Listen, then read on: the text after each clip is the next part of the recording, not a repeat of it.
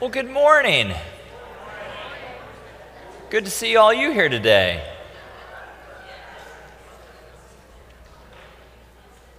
Rick, it, yeah, let's turn, turn this way. That's, yeah. So, so I don't know if you know this, but we, we, we, we do this and then we do the greeting time after that. It's, sometimes people get that out of order. You're not supposed to greet each other before, you know, we say it's time to greet each other, for goodness sakes. Man. All right, now you can stand and greet each other. And uh, yeah, there we go. Welcome, welcome.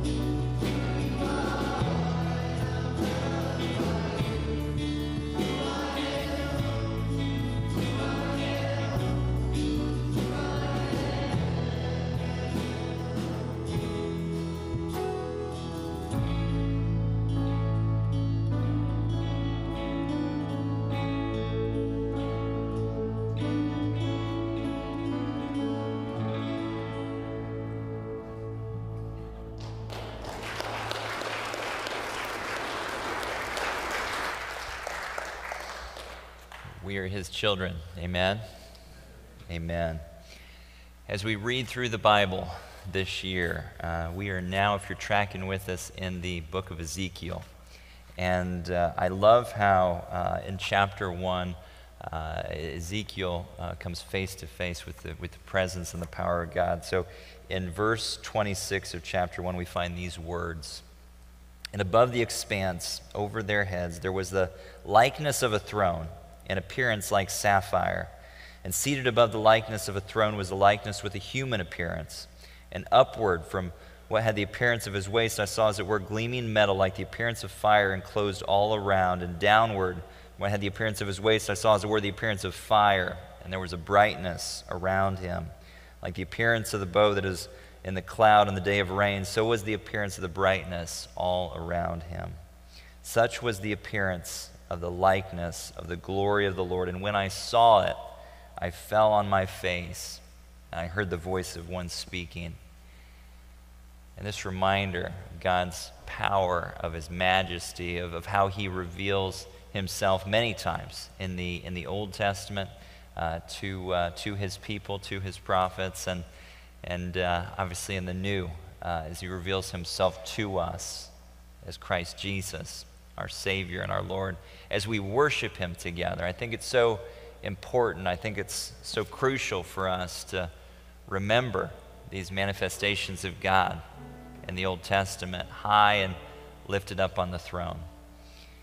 It's so easy for us as we, as we sing songs week in and week out to maybe to forget, to maybe lose sight of this great God whom we serve and all of his power and all of his might and all of his majesty and all of his wonder. So, as we continue to worship Him this morning, I think it's so important for us to reflect on these truths.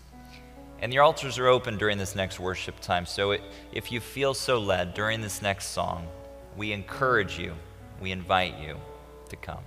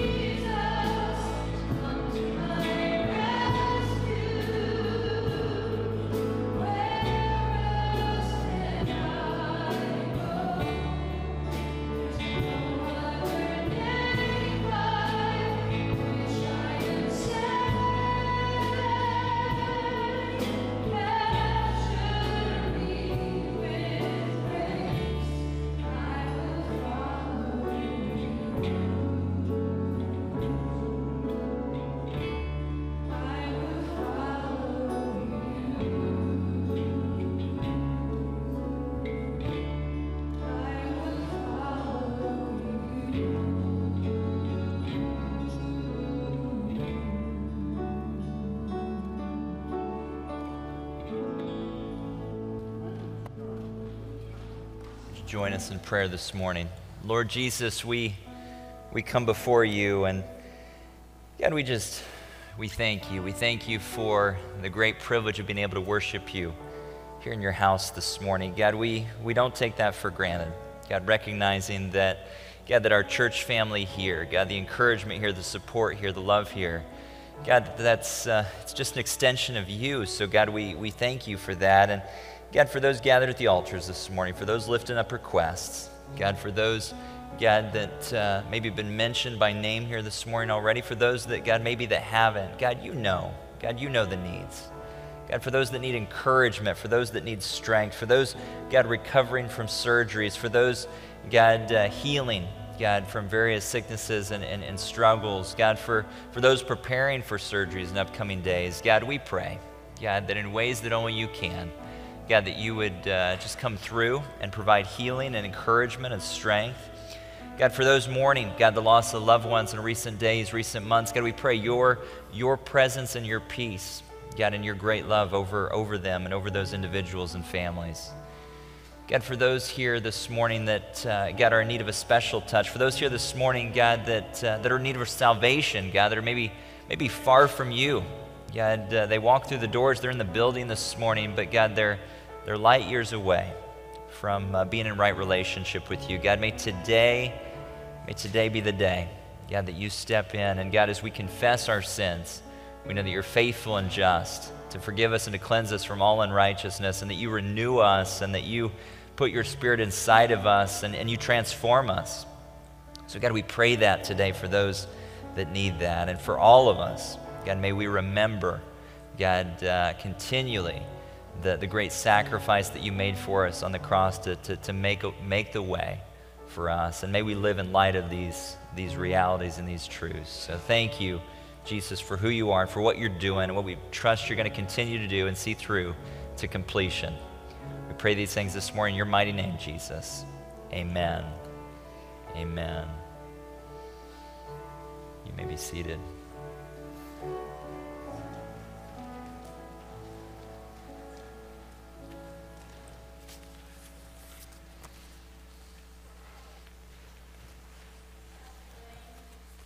Yes, ma'am.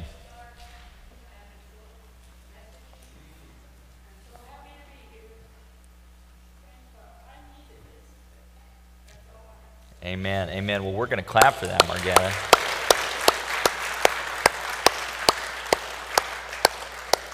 And we've been praying for you, and it's so encouraging to see you here today. Absolutely. Absolutely. It's good to see Gary with you, too. So. Uh, I'm sure when you came in this morning, you got a bulletin. I want to encourage you to take that out now. Go ahead and tear off that back flap. That allows you to mark your attendance here with us this morning, allows us to partner with you, to connect with you in prayer. Um, we got a whole team of folks that pray over these requests each and every week. Uh, so I want to encourage you to take time to complete this. And you can just leave it in the pew when you exit the sanctuary this morning, um, or you can deposit it one of the baskets in the back next to each one of the exit doors. But I want to encourage you to take some time uh, to do that. And uh, plenty of information about events, activities, things coming up in the life of the church uh, in the coming days. Lots of neat things coming up this week. This Wednesday night, we kick off our children's ministry programming with Awana. Excited about that. Excited about what God's going to be doing this coming school year. Uh, the teen ministry has their kickoff event. Uh, coming up uh, on Sunday. Uh, women's Bible study starting a study uh, on Wednesday nights as well. And then the men's uh, breakfast uh, is this coming Saturday morning. And then we also have our baptism service next Sunday. So just a few things going on this next week. But hopefully you'll be able to join us for some of those things, maybe many of those things. Um, and even if you can't, please be in prayer for what God is doing and what we know He's going to be, be working in through all those events and things. So uh, we wouldn't be able to do all these things that we do as a church without, without your faithful and generous support uh, to the ministries of the church through the collection of the tithes and offerings. So, this is the time of the service that we normally would pass the plate. We don't do that anymore, but do have boxes set up in the back next to each one of the exit doors. Uh, so, whether it's during this next worship song uh, or at the conclusion of the service, we encourage you to deposit your tithes and offerings in those boxes. Uh, we are very grateful as a church uh, for your continued partnership with us as we seek to be the light in this community that God has called us to be. So let me pray now over the tithes and offerings before we go any further this morning. Lord Jesus, we thank you. We thank you for your presence here with us, and we thank you for calling us and for saving us. And for uh, all of the ways that you provide in big ways and unexpected ways. And God, we celebrate, God, Margetta's praise even this morning. God, just your healing touch over her and your protection over her this last week. And God, we, we thank you for the opportunity to, uh, to worship you in, in so many ways. But uh, God, especially through the giving back, God, the, the collection of the tithes and offerings, God, the, the simple but uh, yet powerful reminder, God, that, that all that we have is yours. God, it's, it's but a gift that's on loan to us from you. God, you've called us to be good stewards of, of the gift that you bless us with. And so, God, we pray your blessing over the gift, over the giver this morning. God, that you would empower us as a church, God, to only be good stewards of what you blessed us with as we seek to be uh, the light in this community you called us to be. Thank you, Jesus. We pray these things in your name. Amen.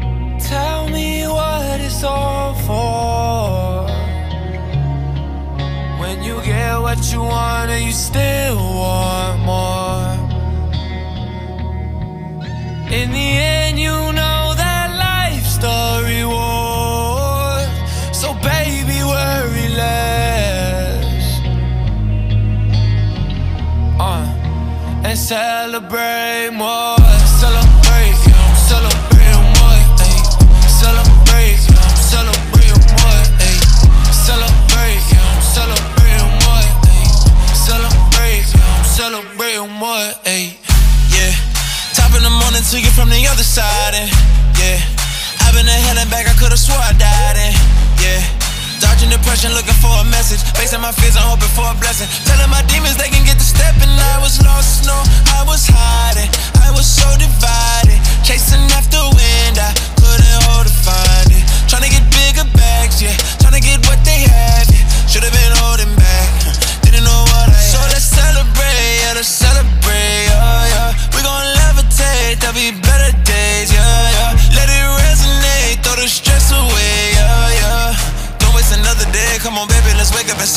celebrate, come on. Celebrate, yeah, I'm celebrating what, ayy. Celebrate, yeah, I'm celebrating what, ayy. Celebrate, yeah, I'm celebrating what, ayy. Celebrate, yeah, I'm celebrating what, Hey, we gotta celebrate, cause like the year's over. We gonna do it good, my dog a year sober. I give online, don't judge me when I pass the church plate. All I want is the cake for my birthday. Yeah,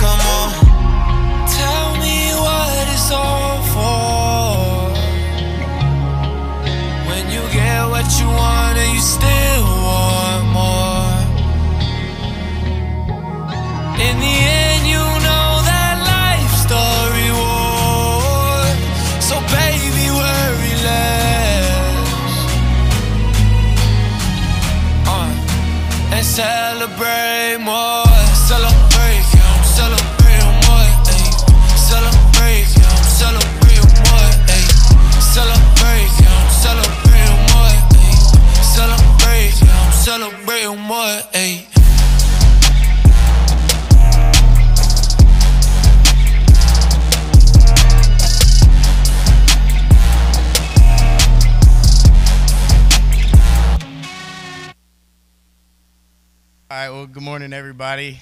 Uh, I watch that thing and I still get emotional just because I'm pretty thankful, Jenny and I are, to have this opportunity to, to be with the youth um, and to get these relationships that we've had over the last year.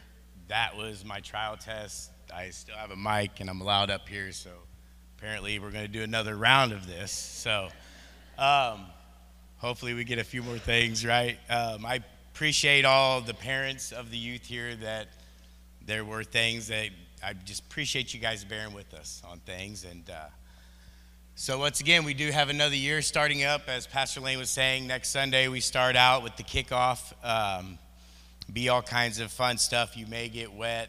If you do volunteer, you don't have to get wet. So, um, and then like they're saying, uh, the Wednesday after next, which is the 30th, is when we'll start ours from 6 to 7:30.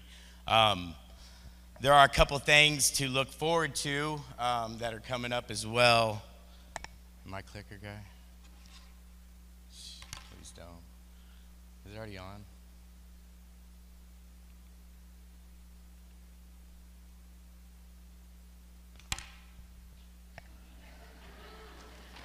I already did it once. Thank you. I say, everybody claps for everything. Clap for me.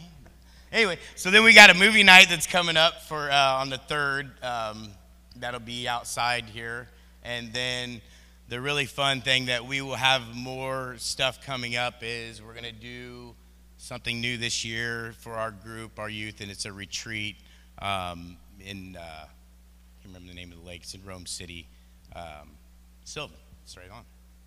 Guys already knew. So anyway, um, I appreciate you guys. Um, and I guess the last thing Pastor Lane kind of helped me segue is we did teach Christ. I, that, that video looks like we all we did was have fun, which we did.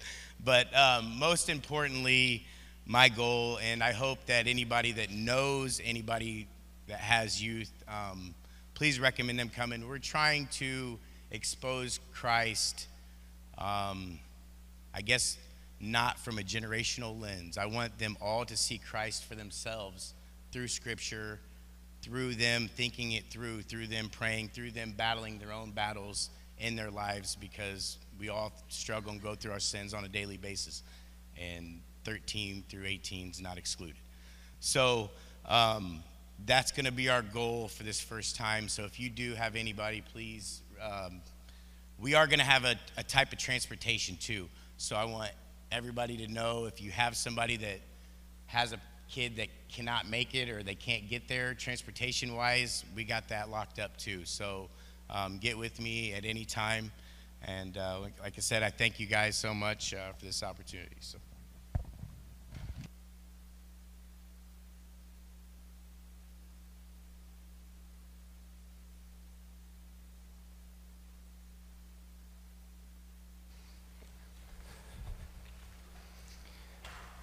Appreciate Rake and Jenny and their leadership. Lots of neat things. Lots of neat things going on there.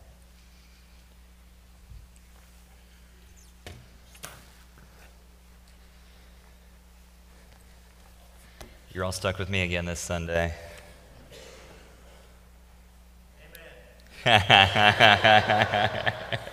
keep praying. Darn it, keep praying for Pastor Lyle. He wants to be up here we're looking forward to that. So, but this morning, we're stuck with me.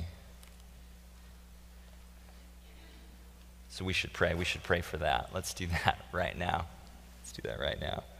Jesus, thank you. Thank you for this morning. Thank you for all the neat things that have happened already this morning. And God, we just pray these next several moments, God, that as you as you speak to us, uh, God, may these may these be your words and not my words. Uh, so God, uh, we we just pray, God, that uh, God, that you would move in this place, that you would stir hearts, that you would, uh, yeah, just do what only, what only you can do.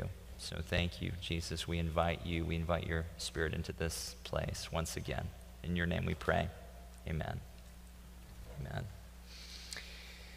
So I've had the great privilege of walking through um, many rough roads with people uh, over the years. Uh, and I can honestly say that one of the most difficult and I think one of the most painful uh, of, of, challenges that I've, I've seen individuals, I've seen couples, families faced with uh, is, is, that of infertility. Uh, we know life is precious and we know that, uh, that life is, is a gift. Um, this is why that uh, you know abortion is such a unique uh, tragedy in our day because it, it, takes something so so beautiful and so wonderful and it it literally uh, literally destroys it. Um, but uh, you know couples who long for, for children but cannot have uh, children of their own uh, know a particular kind of loneliness and, and grief that is specific to them in their struggle, and it's it's one that oftentimes is is suffered uh, most in, in silence. There was, there was a couple, scripture tells us, uh, who could not have children and, uh, and for many years struggled uh, with this hard reality. You see, the, the mother in particular uh, longed to be able to have a child to care for her own. Uh, this couple tried everything in their power to conceive, uh, but to no avail. And finally, the, the, the mother could, could take it the wife could take it no longer. Uh, so she prayed a very bold prayer that went something like this God, if you, if you give me a child, I will dedicate it to you. It will be set apart for you and for your service all the days of its life. Give me a child, and I will surely give it back to you. Well, God heard this woman's prayer, and, and He answered her request and the, the closing verses of 1 Samuel chapter 1 uh, tell us that Hannah did, in fact, dedicate her son, Samuel, to the Lord and to his service, and he was, he was set apart for God. Set apart. Uh, this is a concept that we, that we see popping up again and again uh, throughout the course of Scripture of, of people being dedicated to God, of people being chosen people being called, people being set aside, redeemed, created for a special and unique purpose. And the reality is that as, as followers of Christ and as representatives and ambassadors uh, and citizens of his kingdom, we too, all of us, every single one of us in this place this morning, have been set apart for God and for his purposes for our lives.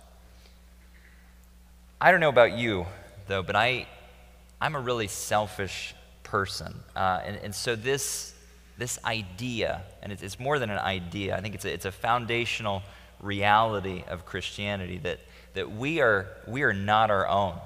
We were bought at a price, as Scripture tells us in, in 1 Corinthians uh, 6, verse 20.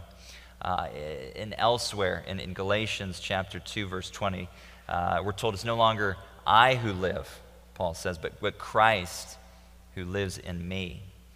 This is the, this is the wrestle. This is the struggle. This is the essence of, of almost all types of sin selfishness, going our own way, refusing to submit to the lordship of Christ. This is definitely at odds with this idea of being set apart, of being not our own, of belonging to God. So I don't know how it goes for you, but God and I have these conversations. Uh, you know, Lane, if you, if you really want to follow me, then why do you spend so much of your time doing your own thing? Uh, spending your time the way you want to and not living the way I want you to. Lane, if you say you trust me, then, then why do you worry so much and why do so often you lack peace in your life? Do you not really believe that I am in control of all things? If you truly believe that I've given you everything that you have time, talent, money, friendships, relationships, opportunities, everything else that God freely gives each and every one of us out of His great bounty, then why do you not live your life as if you were set apart for His service?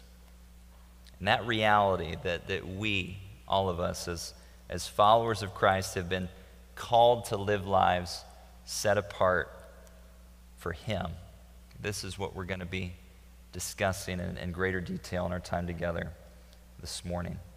So, to accomplish this goal, we're going to be hanging out uh, largely in 1 Samuel chapter 3. Uh, and we're going to begin with the first verse here in just a moment. Uh, but as you turn there, I want to give you some background and context for what's taking place in this passage this morning. Uh, so, the story that I shared a few minutes ago uh, about Samuel's parents can be found in the first chapter of this book. Uh, the second chapter goes on to speak further the historical context of this time. Uh, and uh, the, the, time of the judges has, has almost come to a close at this point. Um, this was a rather difficult time for the nation of Israel. Uh, it can be summed up in the closing words of the book of Judges, uh, chapter 21, verse 25, where scripture tells us In those days, Israel had no king everyone did as they saw fit.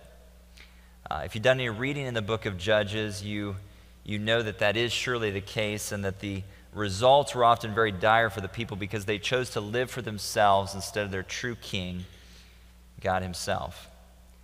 But in the, in the midst of the, the sin and even the wickedness of this age, uh, God hears the prayer of Hannah. He hears the prayer of a righteous person that's longing for Him and he gives her a son. And Samuel is set apart from the earliest of ages for God.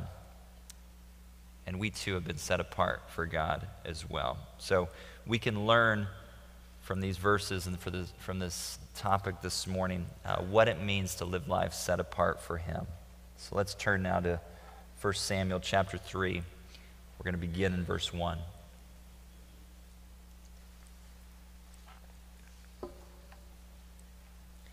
Now, the boy Samuel was ministering to the Lord in the presence of Eli. And the word of the Lord was rare in those days. There was no frequent vision. That time, Eli, whose eyesight had begun to grow dim so that he could not see, was lying down in his own place. The lamp of God had not yet gone out, and Samuel was lying down in the temple of the Lord where the ark of God was. It's kind of like having a sleepover with God. Pretty cool, huh? Uh, then the Lord called Samuel and he said, Here I am. And, and he ran to Eli and he said, Here I am, for you called me. But he said, I did not call, lie down again. So he went and lay down. And the Lord called again, Samuel. And Samuel rose and went to Eli and said, Here I am, for you called me. But he said, I, I did not call, my son, lie down. Now, Samuel did not yet know the Lord, and the word of the Lord had not yet been revealed to him. Which, on a side note, think about that for a minute. Samuel is serving in the temple with Eli, who is the who is a, both, a, both a prophet and, and, and serving as, as priest at that time.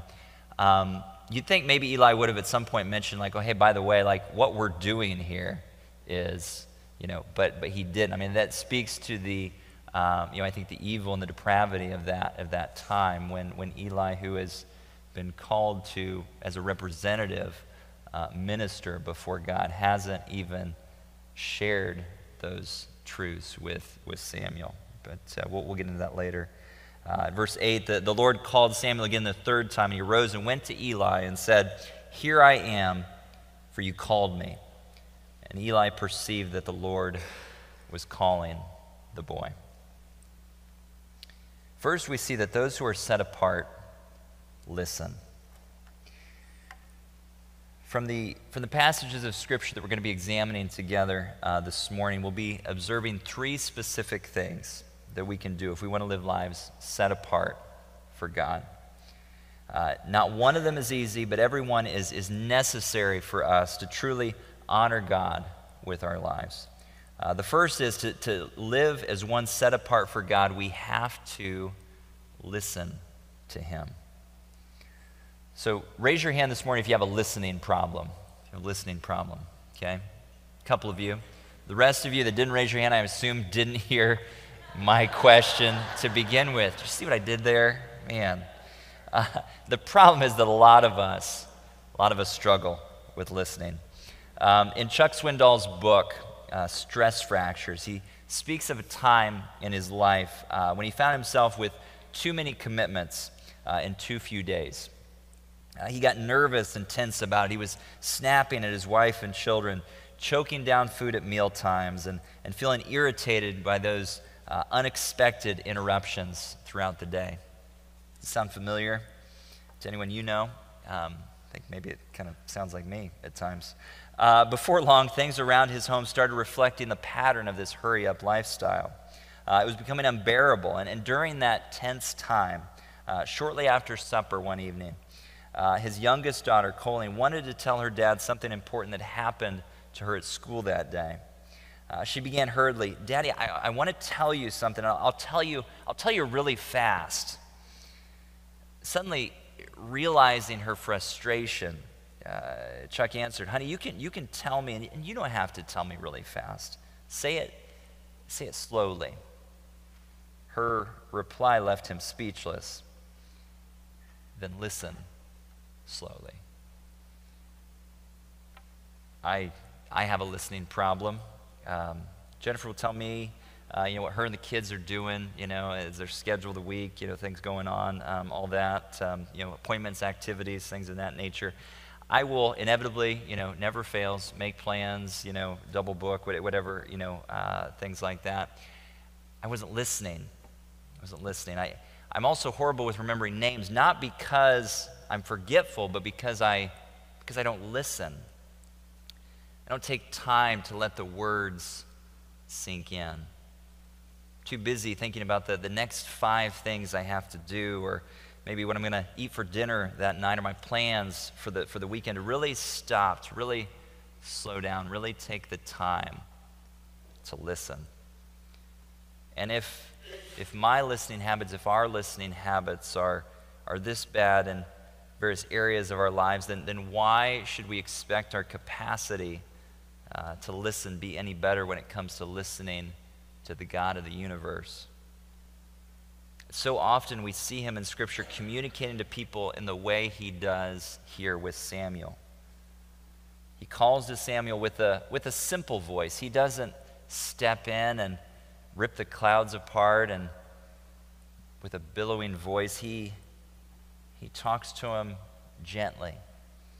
We see uh, elsewhere uh, him revealing himself to uh, the prophet Elijah in a, in a, similar way with a gentle whisper in 1 Kings chapter 19. These individuals, Samuel, Elijah, and, and others that we find in Scripture, uh, were not listening at these particular moments in time. Uh, they would have missed God's voice entirely. Makes us wonder how how often, how many times have we missed God's voice because of the chaos and the noise all around us? How often, how often have we done that? It takes time to listen, it takes intentionality. But in the grand scheme of things, that what is what is time? What is energy? What are resources we, we consider that as individuals we have been set apart for God? All of our time, all of our time belongs to, to Him. All of our attention should be His. Uh, if we view our lives in this way, our, our priorities, I think, begin to change. Uh, we begin to set aside specific time during our days to, to do nothing but listen to Him and wait for his voice. We, we long to hear from him. And when we do, whether it's audibly, as it was for Samuel, or whether it's through the voice of another person, or whether it's in, in something that we observe as we go about our days, or whether it's through the reading of his word, when we've opened our hearts and our minds and our ears to receive it, we, we rejoice and we're reminded all the more that we've been set apart for his service, for his purpose. So let's continue on in the scripture this morning, beginning with verse 9. See what happens next. Therefore, Eli said to Samuel, Go, lie down, and if he calls you, you shall say, Speak, Lord, for your servant hears. So Samuel went and lay down in his place, and the Lord came and stood, calling at us, as at other times, Samuel. Samuel. Samuel said, Speak, for your servant hears. Those who are set apart respond. Samuel was faced with a choice once Eli told him that it was the Lord that was calling him. He could either he could choose to either respond or he could choose to ignore the voice of the Lord. You see, it's, it's not enough to simply listen for God's voice. We must respond. If we don't, we, we've listened really in vain, I think. It's, it's easy uh, to think at this point, of course, that uh, obviously Samuel should respond to God's voice. Isn't that just the next step in the listening process? Um, but, you know, honestly, I think even from personal experience that I, I've spent a lot of time listening to God over the years. And in, in lessons, uh, in sermons, and in the reading of His Word. But how many times have I, how many times have we failed to respond back to Him and acknowledge that we've received the message loud and clear? Instead, too often, we say our amens, we shake the pastor's hand on the way out the door, and we go on and we continue to live our lives on our own terms without ever truly responding to God's voice, even though, even though we've heard it clearly and even though we recognize it as such. The proper response, I think, makes all the difference. I'm sure we can all reflect on a time in our lives when, when, when the correct response was crucial in a situation. Uh, for, for example, maybe someone just shared with us uh, something that they've never shared with anyone before in their entire lives uh, maybe a secret long kept, maybe a, maybe a hope, maybe a dream, maybe even a tragic story of abuse. Maybe it was someone telling you for the very first time that they loved you, or maybe it was the last conversation you ever had with a friend or relative on this side of heaven before they passed on from this life. And we knew that every word, every response, every second in that conversation was extremely valuable and precious. In those situations, in those moments, our response makes all the difference. So, with all those examples fresh in our minds, it's important for us to consider that even in, in light of all these critical situations, they, they pale in comparison to the importance of a response to God when He calls us. The question is, how do we respond to Him? Samuel's response is, is, is perfect and should stand as a model for us all. Speak, Lord, for your servant is listening. Samuel acknowledges that he's but a servant of the Lord, implying that he exists to do all that God desires of him. uh, for God is his master and his Lord. And if we desire to live our lives set apart for God, our response will, will simply and hopefully echo that of Samuel's, and that we will affirm that we are God's servants. So, the fir- third and final uh, chunk of wisdom that we can glean from these verses this morning is that not only did Samuel listen to God, and not only did he respond willingly to him, acknowledging the reality that uh, he was but a servant of God, but he took the message that God had given him and he acted in obedience. So let's pick up here in verse 11, see what takes place next. Then the Lord said to Samuel, Behold, I'm about to do a thing in Israel at which the two ears of everyone who hears it will tingle. On that day I will fulfill against Eli all that I have spoken concerning his house from beginning to end. And I declare to him that I'm going to punish his house forever for the iniquity that he knew because his sons were blaspheming God and he did not restrain them. Therefore, I swear to the house of Eli that the iniquity of Eli's house shall not be atoned for by sacrifice or offering forever. Samuel lay until morning. Then he opened the doors of the house of the Lord, and Samuel was afraid to tell the vision to Eli, obviously. But Eli called to Samuel and said, Samuel, my son. And he said, Here I am. Notice the pattern there once again. Uh, Samuel is respecting, in this case, Eli in his, in his response. Eli said, verse 17, What was it that he told you? Do not hide it from me. May God do so to you, and more also, if you hide anything from me of all that he told you. So Samuel told him everything and hid nothing from him. And he said, It is the Lord. Let him do what seems good to him. Finally, we see that those who are set apart obey, and God is with them. God did not give Samuel an easy message here. Not at all. The, the reality is that with these verses of, of prophecy and punishment for Eli's family uh, lies the underlying message of, of what Samuel's role will be in the future, uh, as he was called to act both as prophet and priest uh, for the nation uh, of Israel during some of the most turbulent and yet crucial times in Israel's history, uh, anointing both Saul and then David as king uh, over Israel. so those who listen and those who respond to God's voice will always be called to act in obedience for his kingdom. And this is the beauty of being set apart because it means that we're called to play an active role in God's plan for humanity. We have a responsibility, a crucial responsibility in that.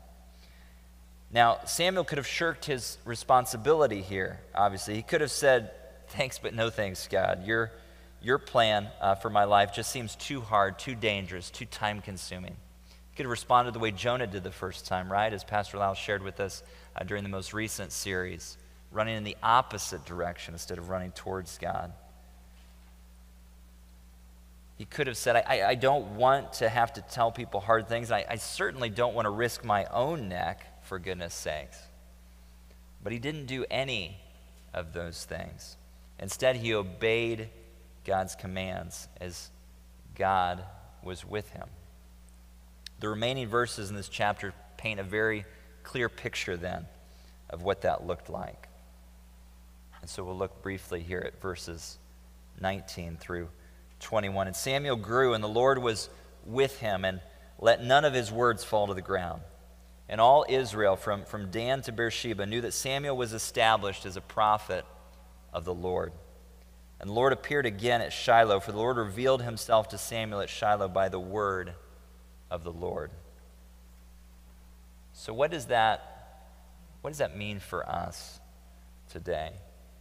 As followers of Christ, we have been set apart, as Paul states in the very familiar words of Ephesians chapter 2, verse 10. For we are his workmanship, created in Christ Jesus for good works, which God prepared beforehand that we should walk in them.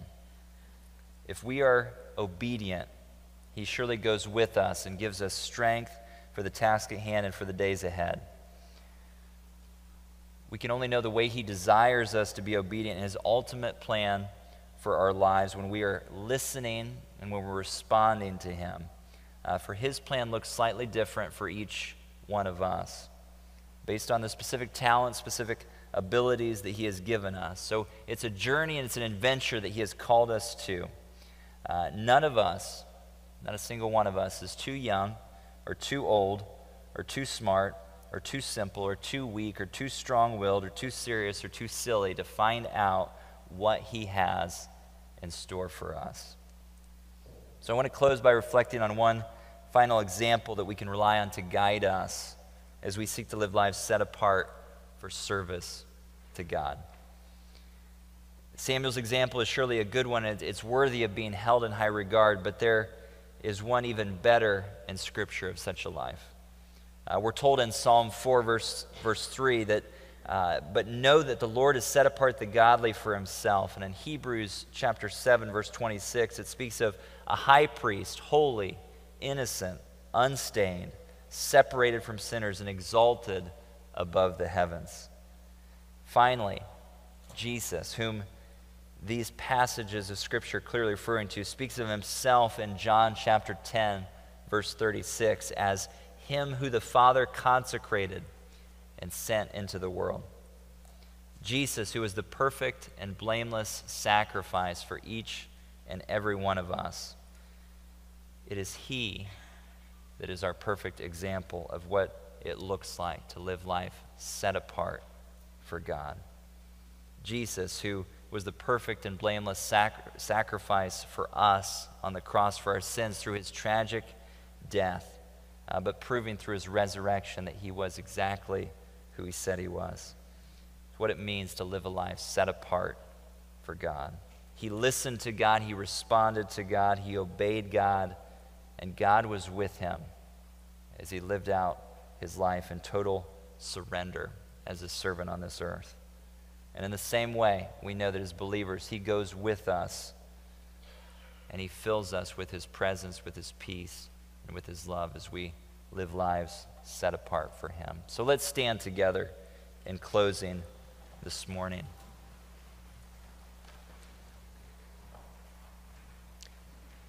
We know what he's called us to do.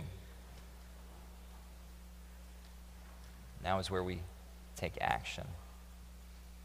So let's pray for that. Let's pray together in closing this morning. Lord Jesus, we, we thank you for your words to us this morning, for this powerful reminder, God, that uh, for each and every one of us, that you have saved, that you have called for a purpose. You, you desire us to lay down our lives for you because we are set apart for you. And that is, that's the plan, that's the mission. You, you don't have any other hands and feet here on this, on this earth except for ours. So, God, I, I pray for each one of us, God, as we as we continue to reflect on these truths, as we, as we wrestle through them this week, God, we know every day, God, whether it's at school, whether it's at work, whether it's our neighborhoods, our homes, our families, you're, you're putting people in our path that uh, you desire us to, to have, a, have that impact on, to, to shine your light clearly and to, to testify to who you are and what you've done for us. So, God, as you go with us in these days ahead, have your way, move in ways that only you can. And God, we just thank you for the incredible ripple effect that that's going to have across our families, workplaces, schools, community, and world. We pray these things this morning in your name, Lord Jesus. Amen. Amen. Listen, respond, obey. He is surely with those who are bold enough to live lives set apart for Him. So be blessed and go in peace this morning and this week ahead as you live life set apart.